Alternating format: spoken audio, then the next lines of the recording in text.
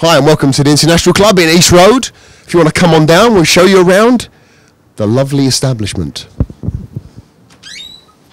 So, down the stairs into this wonderful basement private members club. Be careful there, Ben. Into the reception area. There we go, it's a receptionist. A very beautiful receptionist as well. Now, follow, follow through this way. Our very modest internet cafe, a number of terminals, a dozen or so. People playing some poker. Freddie surfing his Facebook, looking for his Thai bride.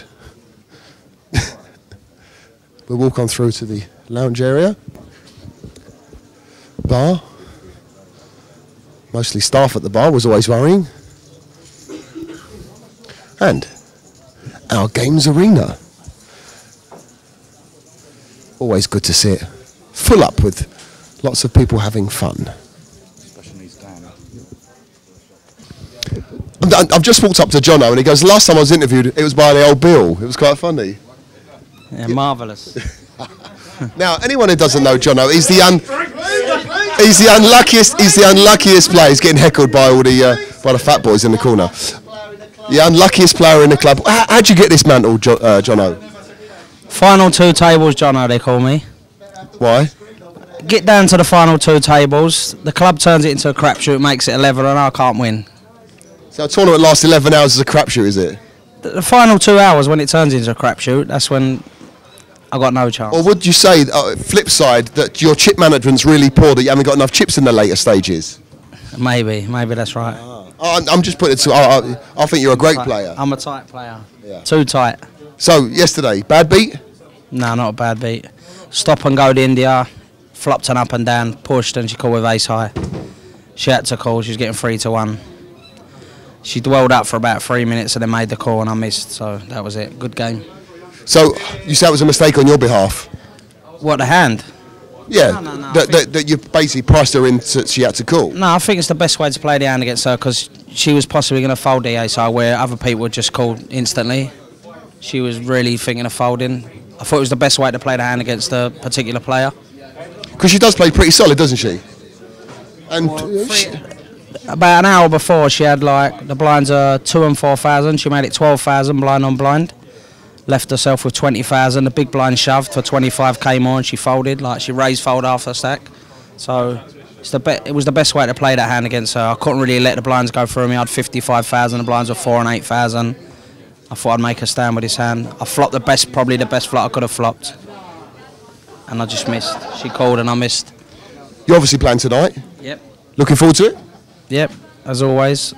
Like to play live poker. I don't play so much no more, but We play online most of the time. mainly online and playing the festivals, the GUK PT festivals. I haven't played here so much recently, but it's good to be back at the old Picked- place. You picked the old new place. You picked a good week to come back anyway with the with the uh, with the festival, didn't you? Yeah, some good comps. You playing the PLO? Nah, Yeah, you're a star at the PLO. I played with a few PLO comps. nah, nah. nah. You I'm played the, the play the main, the monkey event. Yeah, yeah, probably. Cool. Well, best of luck tonight, Jono, and uh, you'll be watching it on the Gutshot um, site later. Where's that going to be on there? Absolutely. Oh, while Jono was chatting to us over there, these boys were heckling. What, what are you, the Backstreet Kids? What's that? Jono's fan club. Really? Jono's fan. Why? Yeah, he's the unluckiest man in the world. he's unluckier than John Merrick. I'm surprised you could get his head in that screen. There you go. Unluckier than John Merrick. You're hearing it first from the Backstreet Boys. Now, someone who isn't shy and who's been the stalwart this week is Mr. Howard Smith, who's currently blogging as we speak. Now, Howard, um, not an, another interesting day yesterday. Oh yes. And I must say, I read your post, and it was really from the heart. You, uh, about your hotel room and 27 hours in a day and not sleeping well and stuff. You, you, is this the right preparation for uh, uh, another big event? That's the only way I know, Barry. Hate it, love it. What can I do? What can you do? Back for some more sickness. Definitely. Okay. Um, ace is the first time round. You're going to fold them, or you're going to just open push? Open push. You know what? I, I was thinking about that.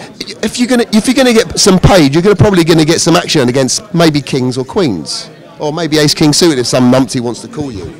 Um, but did he tell you the hand he had? Um, he claims to have had sevens. I'm just posting it up now so I can get some views from maybe Andy Achillea, maybe Terry Simpson, obviously Mr. Greico, maybe yourself. I'd like to get some views on it because it's a very interesting hand, and uh, I hadn't really thought about some of the issues before. I, I actually went over when you mentioned it on the forum earlier. I was thinking about it. I actually think you made the right play. I, I don't see what hand he could have that you weren't actually what that you was beating. I thought at the time, even on the flop, he had a set, and I and I'm really thinking I should let it go on the flop and move on, and that that's something I've got to learn about. Um, I did think about it more overnight, and now I'm actually beginning to think he might have had ace three of clubs, and that he's really made a move on me, and he knows that I don't want to get bust on the first hand of a tournament. Yeah, but uh, he must have played with you before to know that you know you're the H bomb. You you could easily make this play with just one pair. It's interesting. I I played with him for 45 minutes before in the 1-1 Hold'em game, where I've let him catch aces full on the river uh, in a pot where I flopped a set and turned a house. You see me pay that off. You see me make a hero call against Ewan with ace nine. So he may think that I'm uh, going to call his raise, and that's why maybe he's betting so much, even though he has a set. On the other hand, uh, as I'm thinking about it later, I'm thinking if he has a set of sevens, he knows he's gin. Why does he make it so much on the flop? Maybe he does have 9 10 of clubs. Maybe he thinks you've got aces and you're not going to lay them down. It's a wonderful game, isn't it? It's a wonderful game. Good luck tonight, Howard. Thanks.